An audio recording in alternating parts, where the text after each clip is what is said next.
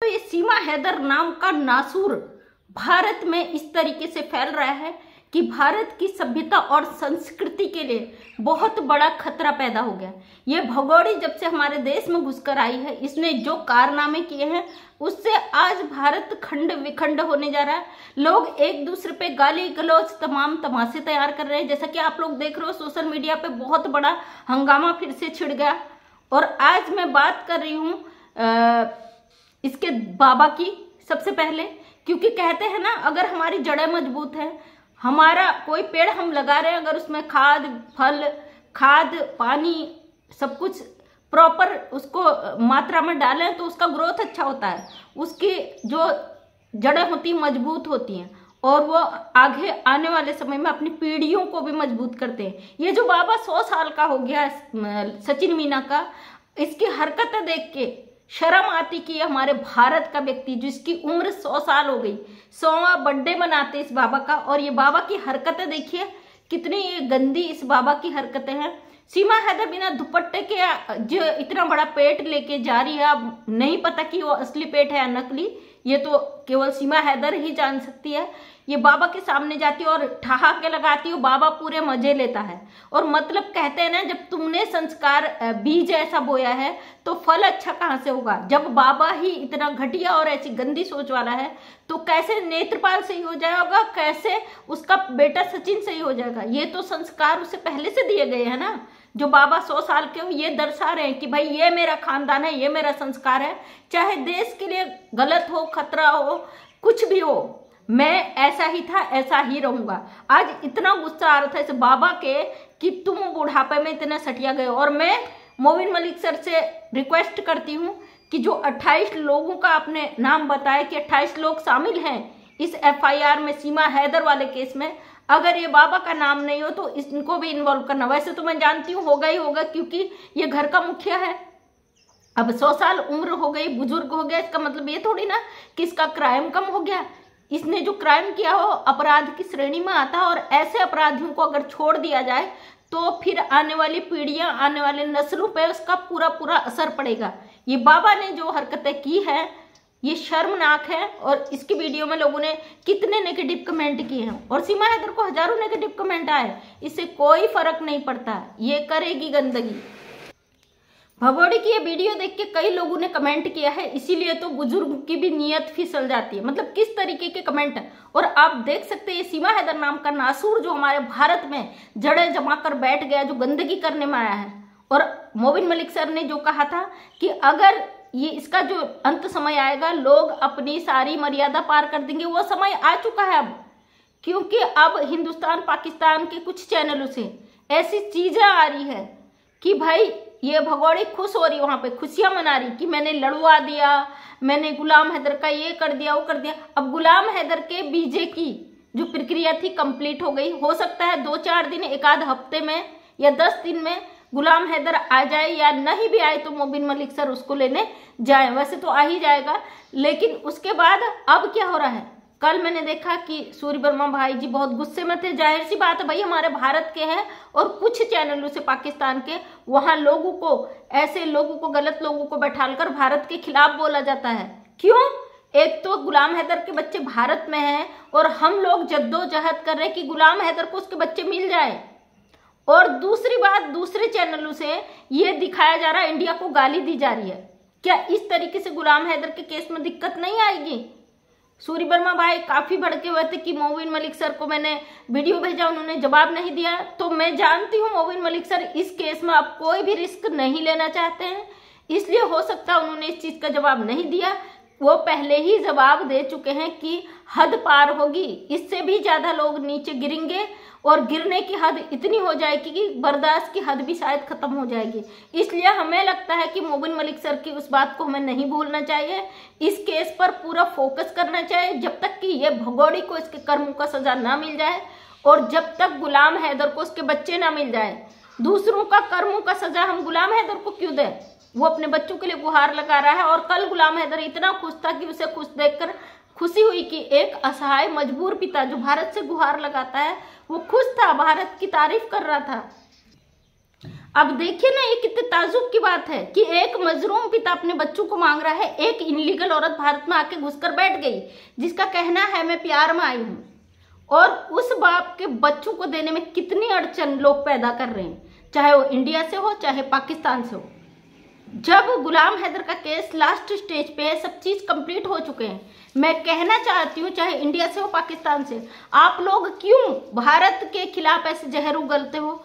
आप लोग क्यों इस केस को गड़बड़ाने की कोशिश कर रहे हो? हमें भरोसा है अपने भारत के कानून पे, अपनी सरकार पे। वो कभी भी अन्याय नहीं करता किसी के साथ। और पाकिस्तान हमारा पड़ोसी देश है और हमारे ही देश का हिस्सा है। और किसी भी देश की इतनी हिम्मत नहीं है कि भारत पर आँख उठा के देखे। ये हम अच्छी तरीके से जानते हैं, भारत का बच्चा बच्चा जानता है कि भारत कितना सक्षम है हर चीज़ में। लेकिन यहाँ पे इंडिया और पाकिस्तान का कोई मैटर ही नहीं है। यहाँ पे एक गुलाम हैदर जिसके चार बच्चों को उठाकर एक औरत इनलीगल तरीके से भारत में घुस गई, वो अपने बच्चों को मांग रहा है। अपने बच्चे मांगना क्या पाप है? जो इस तरीके की हरकत हो रही है। और यहाँ पे आज मैं बात करूँगी कि जो बाबा है, इस बाबा को हथकड़ियाँ लगा के इसको भी जेल में डालना चाहिए। इसने जो सोशल मीडिया पे गंद मचाई है, इसने जो अपने घर में, क्योंकि घर का मुखिया भी ये बड़ा है, ये हरकतें जो गंदी कर रहा है ना, वो माफ़ी के लायक नहीं है। जो लोग कहते सीमा आ गई, सनातनी बन गई तो डूब मरो आप लोग, शर्म कर लो थोड़ी सी।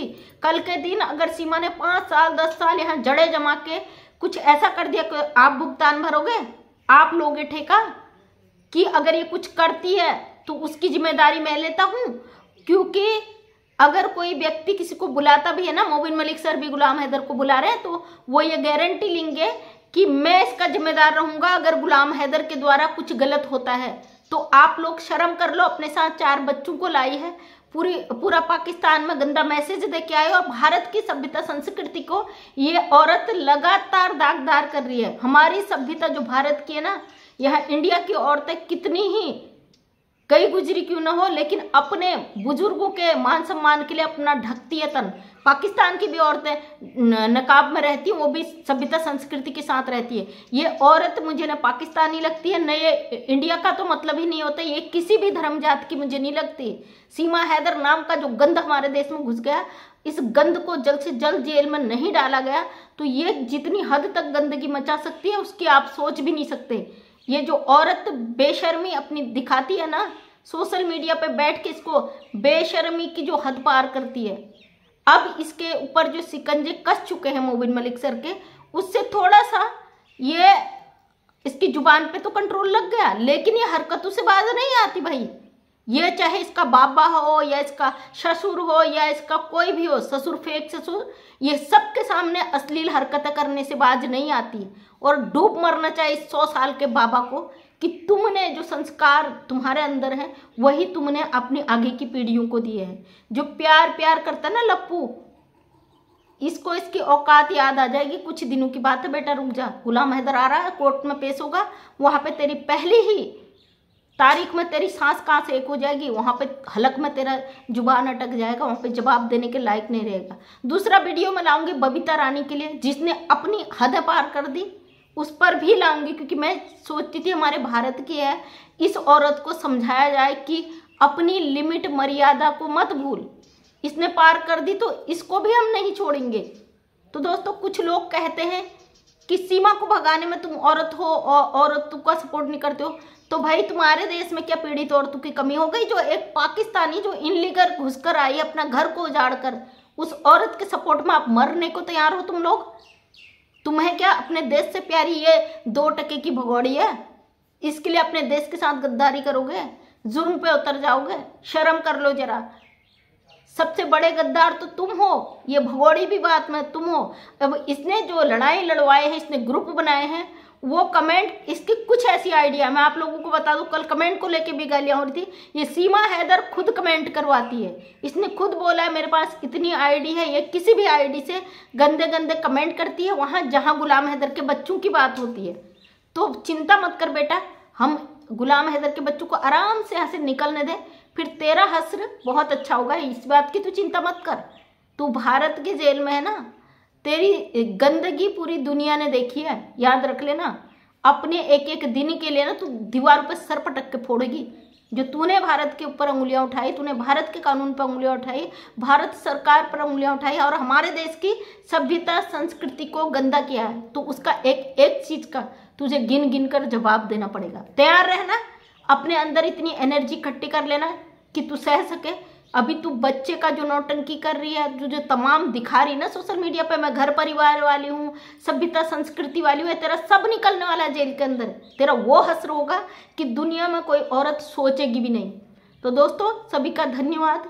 थैंक यू आप लोग जो जिस तरीके से इस भगोड़ी को भगाने में मदद कर रहे हैं और जिस तरीके से आप लोग हमारे लिए लड़ते हैं, हमारे लिए आवाज़ उठाते हैं, हम हमें एक हिम्मत देते हैं अंदर से उस सभी के लिए आपका दिल से थैंक यू क्योंकि आप ही वो हैं जिनकी वजह से हम सोशल मीडिया पर टिके रहते हैं और जिनकी वजह से हम ऐसी गंदी औरत को जवाब देने की हिम्मत रखते हैं। तो सभी का धन्यवाद, उम्मीद करते हैं कि सब लोग इस मुहिम में अपना साथ देंगे, बिल्कुल नहीं हारेंगे, क्योंकि केस लास्ट की तरफ़ है। कोई किसी पर उंगली खड़ा ना करें, क्योंकि जो नेगेटिव लोगों ने किए हैं, वो सबका जवाब बाद में दिया जाएगा। तो थैंक यू सो मच सभी का दिल से धन्यवाद। मैं मंजू विश्वकर्मा हल्द्वानी, उत्तराखंड से एक समाज सेविका। अपने वीडियो के माध्यम से हमेशा सच्चाई को सामने लाने की कोशिश करती हूँ। उम्मीद करती हूँ वीडियो पसंद आया होगा। अगर पसंद आया तो लाइक शेयर कमेंट करें। नेक्स्ट टाइम मेरा वीडियो देखना चाहते हैं तो चैनल को सब्सक्राइब करें। थैंक यू सो मच सभी का दिल से धन्यवाद।